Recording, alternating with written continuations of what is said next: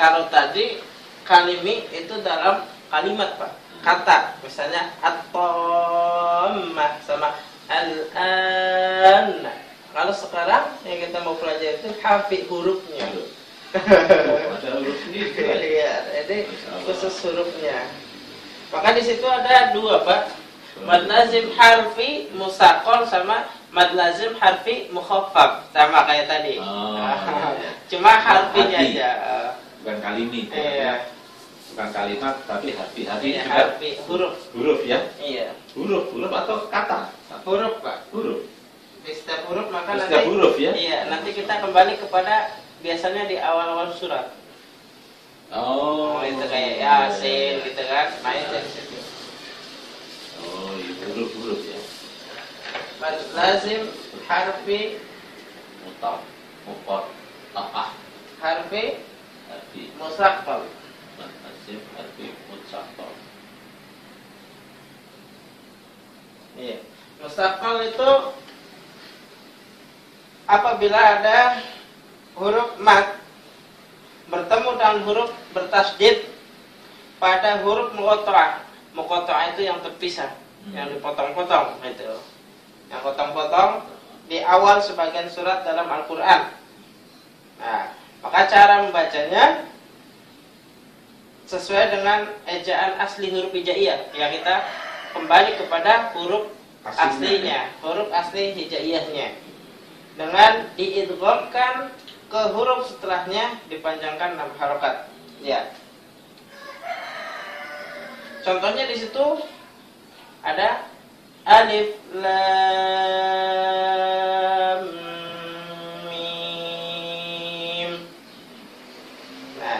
pada huruf lamnya pak Oh, lam mim.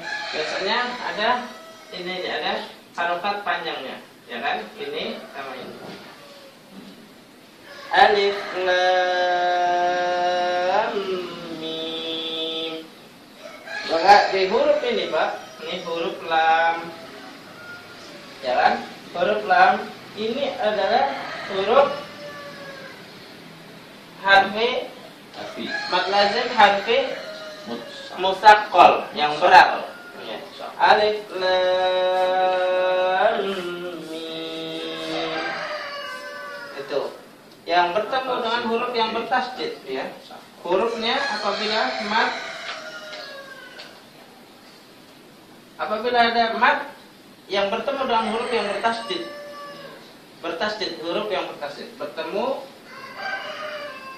dengan huruf bertasdid. Huruf bertasdid itu seperti ini. Aslinya Pak kita kembalikan kepada huruf aslinya. Itu kan alif ya kan? Terus lam. Nah di sini ada tasdidnya. Di sini ada tasdidnya. Lam. Nah lam. Ada tasdidnya ini. Inilah yang dimaksud dengan ini bertemu dengan orang Oh, bertemu dengan huruf bertasdid pada huruf muqatta'ah ya ya muqatta'ah itu yang terpisah.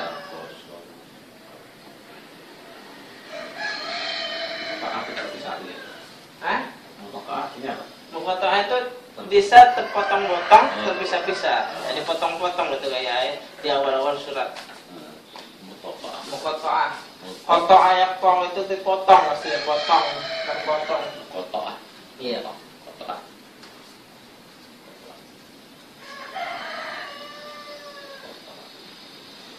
pada awal surat 6 harokat ya. Pak eh, ini Pak. Mad lazim ini kan harfi musakor sama yang kedua Mad lazim ya kan Mad lazim harfi mukhaffaf Pak mukhaffaf itu yang ringan tadi Ya. Nah, yang ringan itu sama. Apabila huruf ini, apabila huruf mat bertemu dengan huruf yang sukun, Hmm. sukun bertemu dengan huruf sukun aja. Kalau di sini ketemunya sukun, bertemu huruf yang sukun, maka ya pada huruf yang muqatta'ah, pada huruf muqatta'ah di awal sebagian surat dalam Al-Qur'an. Di awal Awal surat. surat Al-Quran. sebagian Al-Qur'an. Ya. Contohnya contohnya di situ huruf shad. Short, ya. Ya, kita bacanya enam harakat. Shad. Gitu ya. Shad. Kalau kita lihat bacaannya, ya kan? Seperti ini. Shad. Nah, ini maktabi ketemu huruf yang. Sukun. Nah, ini aslinya ini, Pak, seperti ini. Shad. Short. Kayak tadi nun. Nah, nun. Nunnya Kof. Ini kan? baca kita baca nun. Nah, ini sukun. Hmm. Tapi kalau mad lazim harfi mukhaffaf itu yang bertemu dengan huruf tasydid. Ya.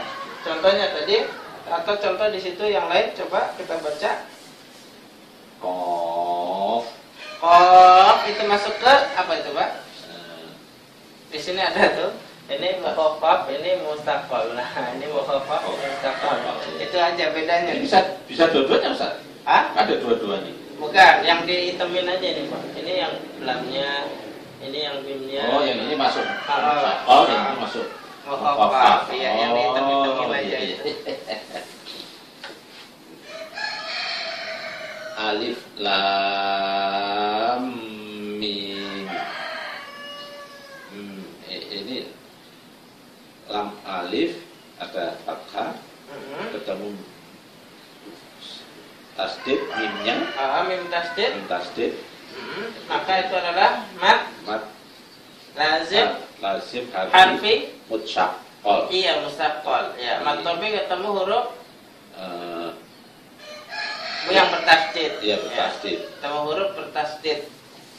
Nah, dalam pada huruf muqatta'ah iya. mutsaqqal Mad lazim harfi mustaqal. Iya. asal ada tasdid harfi eh, lazim harfi mutsaqqal terus berikutnya.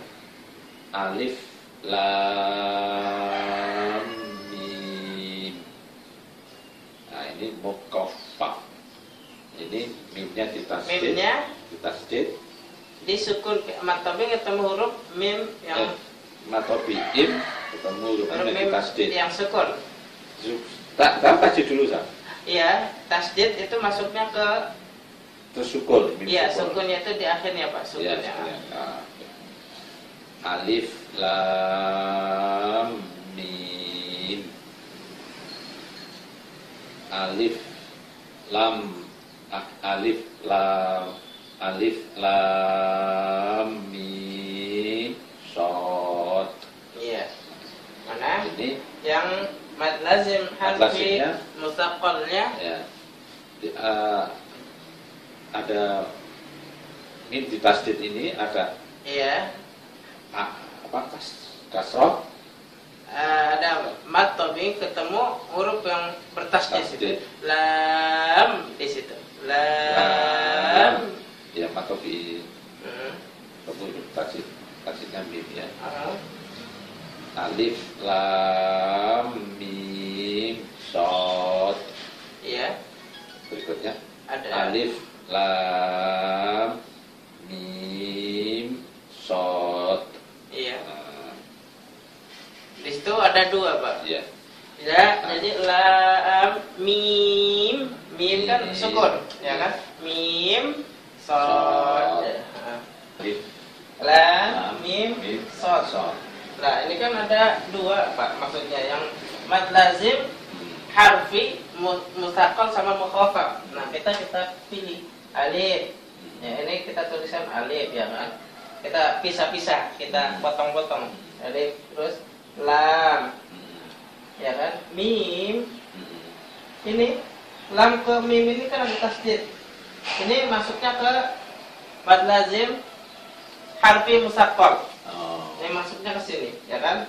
Tapi kalau mim ini ada sukun, ya kan? Maktobi itu masuknya ke sini. Mad lazim harfi.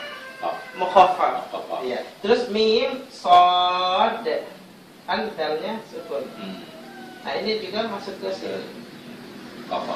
Eh, mukhaffaf. Mad lazim harfi mu- mukhaffaf. Mukhaffaf. Karena sod itu matobing kita huruf yang sukun. Sukun. Iya. Itu maksudnya di situ, iya. Maka kita bedakan di sini mana yang masuk ke mad lazim harfi mustaqal dan mana yang masuk ke mad lazim harfi mukhaffaf. Terus setelahnya Pak? Ini memang khusus untuk di awal-awal surat ini Ustaz ya. Iya khusus di awal. Oh. Mukotoah ini huruf-huruf yang mukotoah. Mukhaffaf. Mukotoah itu yang terpisah-pisah kita dipotong-potong hurufnya. Ini yang tahu hanya Allah artinya ya. Iya, kita nggak boleh mengartikan. Kan ada sekarang orang yang banyak mengartikan. Ini itu alif lam, alif ini itu nggak bisa itu. Hanya Allah. Ain, shot. Iya kan ada kaf, Kaf. huruf kaf. aslinya ini ya, Ah, ya. Kaf,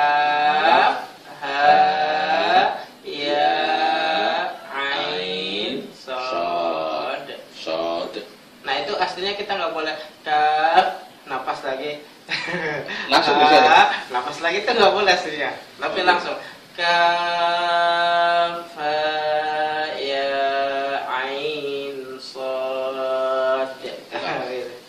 Ka, ka, kaf, ya, ain. Ujungnya nggak nyampe nafas. Ya, ain ini. Hmm. Eh, enam di ujung sama di akhir. Iya. Kaf, kaf, ha, ya, eh masih putus tuh. Iya. Kaf, ha, ya, ain, shot. Iya. Harus jatuh nafas Ustaz. Itu kaf itu ada fa-nya sukun, Pak. Fa-nya sukun maka kita masuk ke mukhaffaf. Mad lazim harfi mukhaffaf. Nah, terus setelahnya ha ya ain sod sod dan sukun di situ maka masuk ke mukhaffaf. Lazim harfi mukhaffaf.